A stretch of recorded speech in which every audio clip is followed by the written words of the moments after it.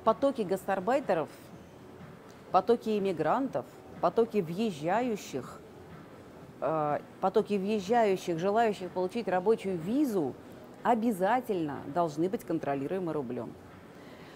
Я не понимаю, почему мы всякий раз э, из современных живущих в 21 веке политиков, ну не мы, а мы все, да, политиков, э, э, юристов, я не знаю, э, деятелей культуры, почему мы вдруг в один момент рушимся и снова становимся какими-то первобытными?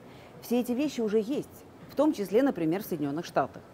Я на самом деле э, была потрясена, и мне, мне показалось это гениально просто. Смотрите, один мой приятель уже много лет назад э, получил э, грин-карт и не ту, которую выигрывают.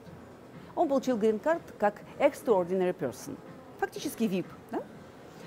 А, для того, чтобы получить это, э, это, эту грин-карт как extraordinary person, требуется э, предоставить э, некоторое подтверждение, то, что ты действительно являешься экстраординарным персонажем у себя на родине. Он режиссер, да? он предъявил свои фильмы, победы, награды, несколько рекомендаций от ведущих э, так сказать, деятелей в той же отрасли. Все это было собрано, и он получил эту грин-карту.